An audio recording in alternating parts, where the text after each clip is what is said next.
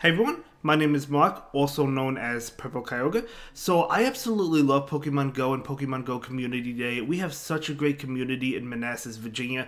The uh, the owner of the Discord actually used to make stickers. He hasn't been doing it much lately because of COVID, but he used to make these stickers for each community day. We have uh, one with all the community day Pokemon. We have the Mudkip, Pia. I still have the Turtwig, Marie. We have all these stickers.